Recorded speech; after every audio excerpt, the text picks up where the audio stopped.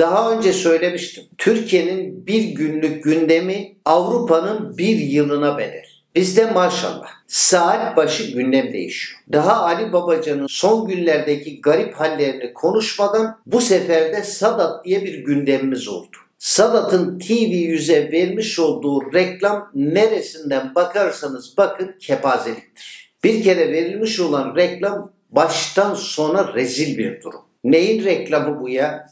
Hadi ürün satıyorsanız bunu anlarız. Ellerinde ağır silahlarla bir grup askerin reklamını yayınlamak neyin nesidir Allah aşkına? Silah satıyorsunuz dese değil. Birilerine koruma veriyorsunuz da onun reklamını yapıyorsunuz desek o da değil. E nedir peki bu?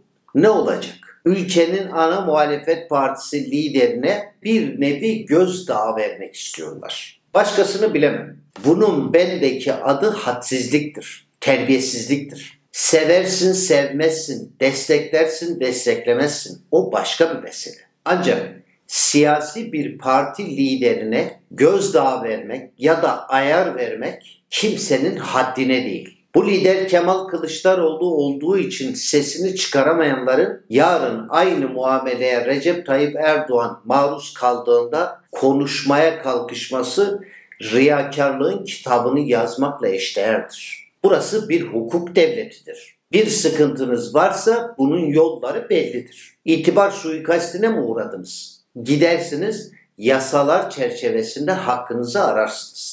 Ya da hakkınızdaki iddialarla ilgili eğer bir karın ağrınız yoksa gazetelere tam sayfa ilan verip kendinizi toplum karşısında aklarsınız. Sizin hakkınızda çeşitli iddialarda bulunan siyasi parti liderine öyle kafanıza göre ayar veremezsiniz. Dediğim gibi bu bir hadsizliktir ve de terbiyesizliktir. Tıpkı Ece Üner'in yapmış olduğu hadsizlik ve terbiyesizlik gibi. Dinleyince vallahi şaşkına döndüm. Hatta acaba yanlış mı anlıyorum diye defaten dinledim. Ece Üner özetle diyor ki Atatürk düşmanı olan paramiliter bu yapı için soru soruyor. Soruyu kime soruyor? Devlet yetkililerine soruyor. Sorusu şu.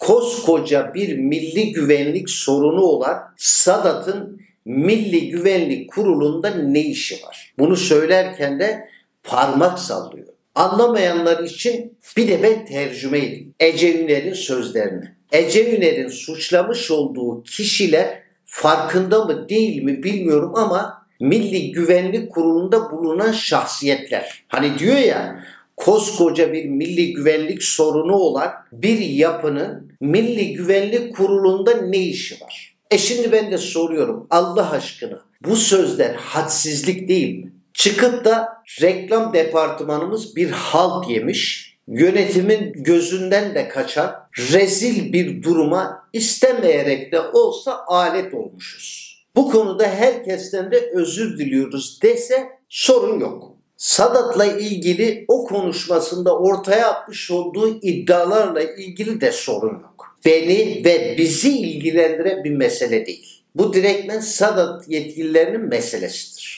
Daha önce Meral Akşener'le Ümit Özdağ Sadat'la ilgili ortaya atmış oldukları iddialardan dolayı Sadat her iki siyasi lideri de mahkemeye vermiş hatta tazminat kazanmıştı. Yani onları savunmak bize düşmez. Beni ilgilendiren hadsizlik dediğim kısımsa şurası. TV100 ne güzel siyasi bir parti liderinin hak ve hukukunu savunmak için ekranlara çıkmış bir firmaya ayar üstüne ayar veriyor.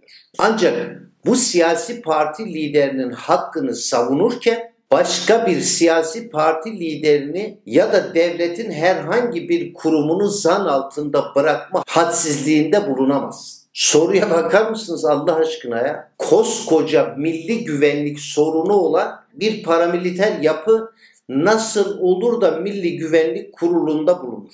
Milli Güvenlik Kurulu'nda kimler var? Sayın Cumhurbaşkanı Erdoğan'ın başkanlık ettiği bir kurul kuvvet komutanları var. İçişleri Bakanı var. Milli Savunma Bakanı var. MİT Müsteşarı var. Şimdi bu insanlar için kullanılacak cümlenin vehametini anlayabiliyor musunuz? Sadat için ne diyorlar? Terörist yetiştiren, ülkeyi eyaletler adı altında bölmeye kalkışan bu yapı Milli Güvenlik Kurulu'nun himayesi altında faaliyet yürütüyor denilmek isteniyor. Anladınız mı? Yani'nin yanisi Recep Tayyip Erdoğan, Süleyman Soylu, Hulusi Akar, Hakan Fidan bir olmuşlar. Bu yapıyı korumaya çalışıyorlar. Bununla da sınırlı değil. Devletin bütün kademeleri bundan haberciymiş ve seyirci kalmışlar. Ortaya çıkan tablo bu. Ece Üner'in söylemlerinden yola çıkarak ortaya çıkan tablonun bu olduğunu anlamamak için aptal olmak lazım değil mi? Hani oturup düşünüyorsun kurban olduğum Allah akıl dağıtırken bunları unutmuş mudur nedir ya? Devletin bütün kademeleri ülkenin bölünmesi için bir firmaya destek veriyor. Ülkenin bütünlüğünü korumakta Ece Üner'le Merdan Yanardağ kalmış. E ne diyeyim? Allah'ım yeter artık. Bizi göğe çek. Bu noktada merakıma yenik düşüyor. Bunların iddiasına göre Sadat terörist yetiştiren, envai çeşit ülkenin güvenliğini sağlayan, onlara ders veren ve on binlerce üyesi olan hatta bu ülkeleri bölüp parçalayıp İslam Cumhuriyeti kurma hevesinde olan bir yapı. Ve hepsi de ağır silahlı insanlardan oluşuyor. E peki hal böyle olunca Ece Üner ya da Merdan Yanardağ gibi insanlar nasıl olabiliyor da hala nefes alabiliyorlar? Acaba diyorum ciğerle yüreği karıştırıp birlikte mi yediler? Yahu bunlar bir mafya babası için iki kelam etmeye korkan tipler değil miydi? Peki karşılarında envai çeşit ülkeyi ellerinde oyuncak yapan on binlerce insanın oluşmuş olduğu bir teşkilatın karşısında nasıl olabiliyor da bu kadar cesurca konuşabiliyorlar? Benim aklımın almadığı nokta burası. Yapılan konuşmayı dinleyince dedim ki acaba bunda da bir bit yeniği çıkmış olabilir mi? Sadat için bunlarla aynı fikirde olan bir sürü yer var. Mesela Mossad'da aynı bunlar gibi Sadat'tan rahatsız. Mesela Pentagon'da bunların söylemlerinin birebirini Sadat için söylüyor. Çok ilginç yani. CIA Sadat için ne söylüyorsa CHP'liler de aynı kelimeleri kullanıyorlar. FETÖ'nün Sadat için söylemiş olduğu cümlelerin birebirini iyi Partililer de söylüyor. İyi mi? Gerçekten sizce de ilginç değil mi? Bu ilginçlikler karşısında duyarsız kalamadım. Her ne kadar Ece Üner gibi Atatürkçü olmasam da ülkemi sevip milletime değer veren bir birey olarak Sadat'ı araştırma ihtiyacı hissettim. Yapmış olduğum araştırmada şu sonucu çıkardım. Sanırım Google'da Sadat'a destek vermiş olacak ki öyle anlatıldığı gibi Sadat'la ilgili bir veri elde yok. Yine Google'a göre Sadat emekli bir paşa tarafından kurulmuş ve yine emekli polis ve askerleri içinde barındıran bir yapı. Birçok ülkeye savunma danışmanlığı yapıyorlar. En ağır silahları ise beylik tabancaları. Milli Güvenlik Kurulu'nda bugüne kadar hiçbir üyeleri bulunmamış. Sadat'ın kurucusu olan emekli Tuğ General Adnan Tanrıverdi'nin orada bulunma sebebi ise Cumhurbaşkanı Erdoğan'ın danışmanı olması. Tabi Erdoğan'ın danışmanlığına getirildikten sonra Sadat'la bütün ilişiğini kesmiş. Sadat denilen yapı Türkiye Cumhuriyeti'nden bugüne kadar hiçbir ihale almamış. Legal olarak 20 yıldır bu ülkede faaliyet gösteren Sadat ticaret sicil kaydı olan bir firma. Öyle Ece Üner'in söylemiş olduğu gibi sanık sandalyelerine oturmaları gerektiren hiçbir şey yok. Sadat'la ilgili Türkiye'yi bölüp parçalama hayalleri var diye iddialar var. Bu iddiayı Ece Üner de dile getirdi. Atatürkçü kimliğiyle buna asla geçit vermeyeceğinin de altını çizdi. E bu noktada insan sormadan edemiyor da sevgili Ececi madem ülkenin bölünmemesi için canını bu denli hiçe sayarak siper edeceğini söylüyorsan o zaman Kemal Kılıçdaroğlu'nun sizin kanalınızda program yapmasına niye engel olmadı? Hepimizin malumu. Ana muhalefet lideri çıkıp meydanlarda bas bas bağırmıyor? Biz geldiğimizde ülkeye özellik getireceğiz. O özellik talebi kimden geldi? Kandil'deki hevallerden geldi. Kara yılan çıkıp demedi mi?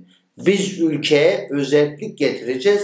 Bu noktada Kemal Kılıçdaroğlu bizim tercümanlığımızı yapıyor. Bu durumu ülkenin tamamı biliyor da siz mi bilmiyorsunuz? Bildiğinizden eminim ben. E o zaman soruyorum. Kemal Kılıçdaroğlu için niye canınızı siper etmediniz? Ettiniz de sizi ezip geçtiler mi? Yok ezip geçmediler diyorsanız o zaman bu ne perhiz, bu ne lahana turşusu. Kaldı ki Sadatçılar açıklama yaptılar. Reklamın yayınlanması hususunda teklif TV yüzün reklam departmanından gitmiş. Hatta demişler ki Kemal Kılıçdaroğlu'nun programını reklam vermek istiyor musunuz? Sadatçılar da kabul etmiş. Reklam teklifinin gelmesi ve Sadatçıların bu teklifi kabul etmesi Sadatçıları haklı çıkarmaz. Onu da ayrıca belirteyim. Gelen bu teklifin reddedilmesi gerekiyordu. Stratejik bir uzmanlık alanı olan insanların oluşmuş olduğu bir yapı kendilerine bir tuzak kurulduğunu farkına varmaları gerekiyordu. Yeni bir videoda görüşünceye kadar hoşçakalın efendim. Kendinize iyi bakın. Allah'a emanet olun.